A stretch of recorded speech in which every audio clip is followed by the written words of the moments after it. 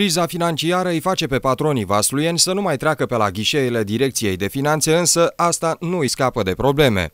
O parte a agenților economici nu au achitat la termenul scadent obligațiile fiscale.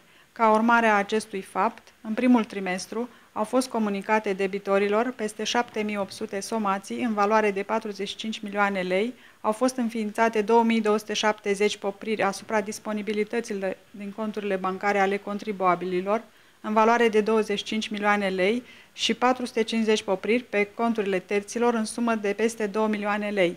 Au fost aplicate 41 sechestre, 25 pentru bunuri mobile și 16 pentru bunuri imobile, în valoare de aproximativ 15 milioane lei.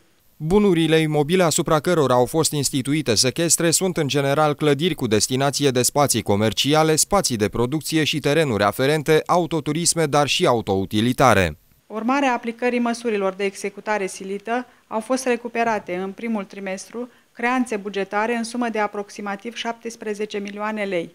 În totalul veniturilor încasate la bugetul de stat, ponderea reprezentată de veniturile încasate prin aplicarea măsurilor de executare silită este de 11%.